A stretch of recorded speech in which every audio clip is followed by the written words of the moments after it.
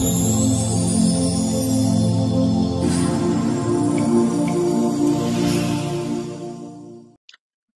morning. Today is Wednesday, March the 22nd. The time right now in Singapore is 11.14 in the morning. And overnight on Wall Street, it was all pretty quiet because the market was basically waiting for tonight's uh, FOMC meeting result. Uh, we all know that the FOMC uh, actually started yesterday and it will end today uh, in Singapore timing at 2 a.m. Singapore time uh, technically it's on Thursday morning. Uh, the FOMC will decide on the rate hike amount if and when they decide to actually hike. So this market here uh, has a bit of a, a mixed reaction to what the Federal Reserve may actually do. There are four possibilities here. One, uh, market mostly expected a height of maybe a, a quarter point. Uh, it means uh, 25 basis point. Uh, this is in contrast to the beginning of the month where the market was expecting a 50 uh, basis point rate hike or 0.5%. Uh, but after the turmoil that we saw over the last couple of weeks, we now uh, the market now has revised their forecast to expecting the Fed to only increase by a quarter point. Now, the other outcome is that the Federal Reserve may actually pause. So, what are the odds of that happening? of course, if the market, uh, if the Federal Reserve actually pause the rate hike, it means to say that there's no rate increase, then the market initial reaction as far as equities are concerned is likely to have a knee-jerk rally.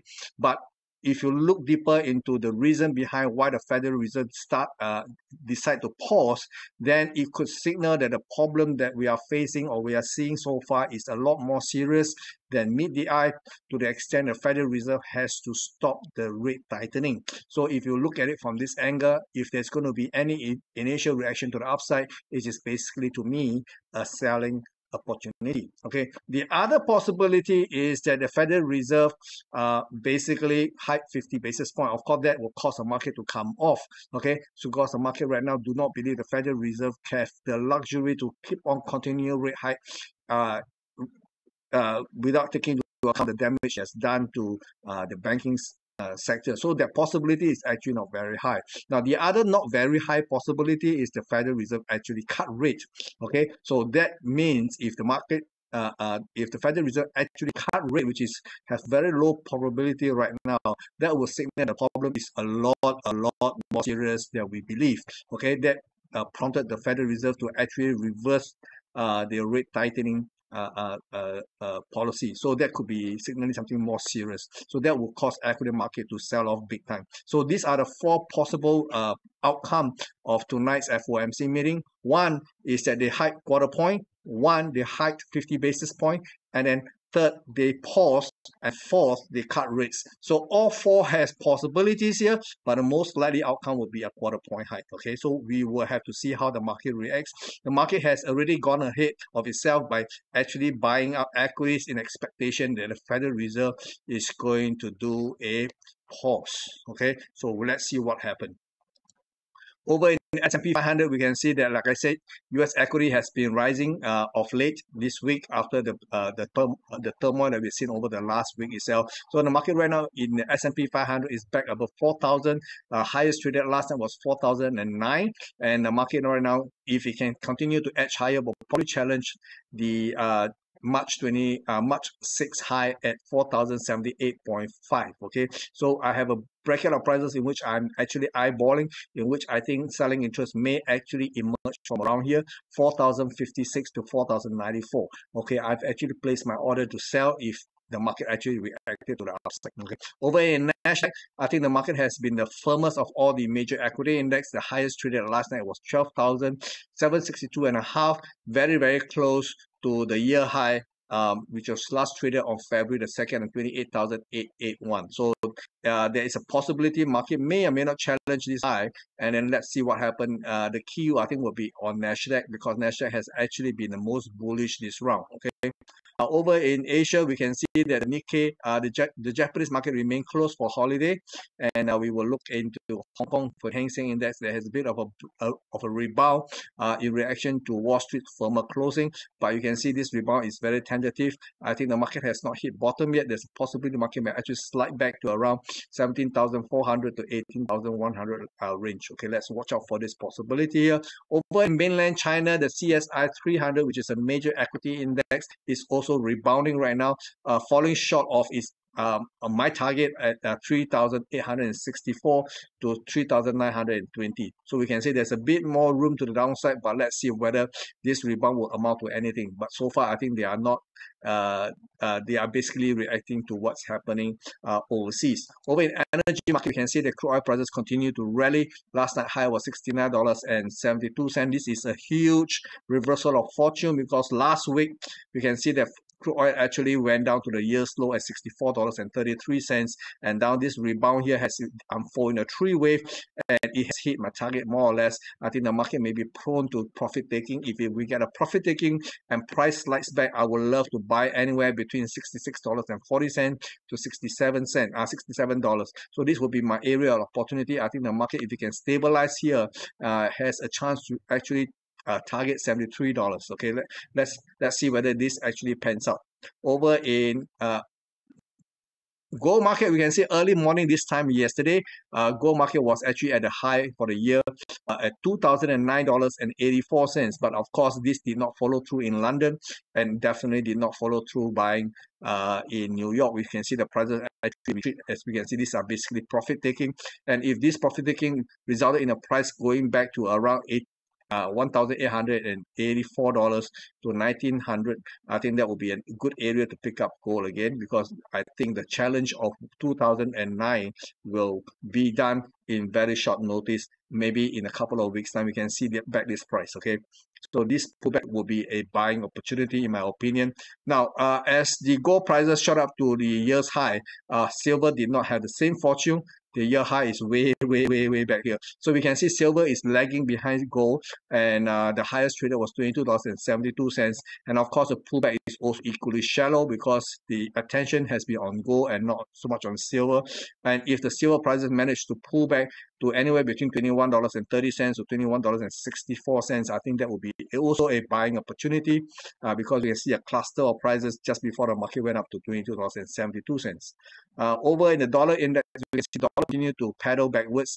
Uh, and uh, because of this confidence right now uh, in the US banking system, the dollar is not necessarily the best currency right now. The best currency right now, uh, as most people reacted to the banking crisis, is the Japanese yen. So we can see dollar right now is pulling back. But by and large, uh, in a world whereby there is uh, uh, no so-called good currency to be uh, to plug your money in I think eventually the dollar will have to come rolling back at some point in time. So if this pullback result in the dollar index going back to 101.15 to 101.80, that to me is a buying opportunity.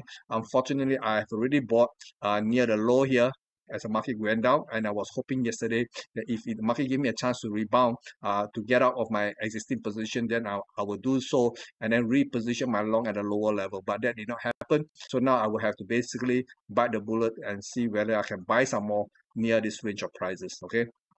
Now in terms of major currencies other than the yen has benefited tremendously from the turmoil in the banking sector. Sterling seems to be doing pretty well. The high traded was 122.85, but the market since has pulled back to 181 uh, 121.80 so far. So we can see that there's a bit of a pullback. To expect the sterling dollar to pull back all the way to 120, which is my ideal price to buy, maybe a little bit unrealistic. So maybe we'll just have to watch. I placed my order nonetheless nobody knows what kind of volatility we may see upon the FOMC rate decision. So I'm just placing my buy order there just in case the market actually have a chance to pull back all the way there. Okay. Over in euro versus the dollar, we can see that the euro has actually went up to 107.88 and it hits a pocket of prices which I believe to be uh, vulnerable. Uh, this range of prices is 107.75 to 108.35. This bracket of prices is to me is where I think the likelihood of selling interest returning is going to be pretty good. And actually, unfortunately, I've really short and I, I intend to sell some more uh, into this bracket of prices if we get another kick up higher. Because so far, there's no sell signal that is telling me the market has already picked up. Maybe we can see another spike higher and that will give me another chance to anchor at a better price. Okay. Over in the Aussie versus the dollar, we can see the market is really not going anywhere. The market is basically consolidating.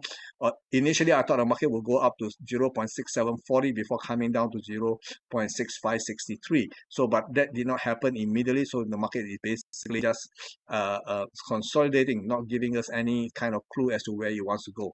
Over in dollar versus the yen, like I said earlier on, the safe haven currency, which is the Japanese yen, right now is the flavor of the month. So that means the dollar versus the yen will have to see lower prices going forward. Yesterday, we have a bit of a rebound in dollar yen from 130.54 all the way to this morning high of 132.70. So basically, I do see that the market can actually edge a little bit higher, 134 or to 135. That would be to me a selling uh, uh, an area in which I would love to do some kind of selling, but because I think the turmoil in the banking sector is not over by any means, so there is a chance that the yen may strengthen further based on this uh, tension in the banking sector. Over in the dollar versus Canadian, we don't see much of activity, very similar to what we saw in the uh, Aussie versus the dollar. So basically, it's consolidating. Uh, I have already shorted the dollars CAD, but yesterday we saw the market pull back very deeply. So now it's pulling back again. Hopefully, it will like struggle all the way to 136 to allow me to exit my position. But but by and large, this position is already risk-free because I have moved my stop to break even. So regardless of what happened, I will not lose money on this trade, although there is not going to be anything spectacular. Okay. Over in the uh, Bitcoin, we saw Bitcoin actually rally to 28,567. Okay. Uh, that is on Monday. Okay. So yesterday there was no new high. There was an uh, earlier, uh, there was a late, late, uh, there was an early attempt this morning to actually go higher, but it's nowhere near the 28,567. So if this continue, there is a risk that the market may decide to take profit and the market may see a pullback. If that's the case, my ideal price to actually position long is somewhere between 23,000 to 24,000. So the market, if ever goes so deep, uh, a correction, that will be a great place to actually anchor long. Okay, so we can see that Ethereum also have a bit of a pullback. The high also traded on Monday at eight uh, one thousand eight hundred forty six dollars and fifty cents, and that the market did not come back. And this morning we have a bit of a challenge, but uh, no, this was late yesterday morning, uh, late last night or early this morning there was a, a late challenge. Uh, highest traded was $1,839.90. It did not quite make it, so there's a good chance it may actually pull back. Ideally, we want to see the price pull back to 1,550 to 1,610. So this area is actually my area of preferred buying if the market ever go that deep. Okay, so just be aware that the rally in cryptocurrency, in uh, in particular Bitcoin and Ethereum, is not caused by uh, safe haven buying because cryptocurrency is anything but safe. It is actually one of the most risky product out there. So this rally in cryptocurrency cannot be related to safe haven buying, uh, like we, like what we saw in uh, the gold market or even the dollar versus the yen. Okay, the yen. Okay, so uh, for those who believe that uh, cryptocurrency is benefiting from the turmoil in the banking sector, it is not true. Uh, the reason behind the rally in Bitcoin and Ethereum is largely due to the instability of the stable coin. So right now, a lot of institutions have actually started to uh, to get out of their position in stablecoin and park their money into the main coin itself, which is Bitcoin and Ethereum for now. Let's see how uh, this thing pans out because this crisis in the banking sector is by no means over.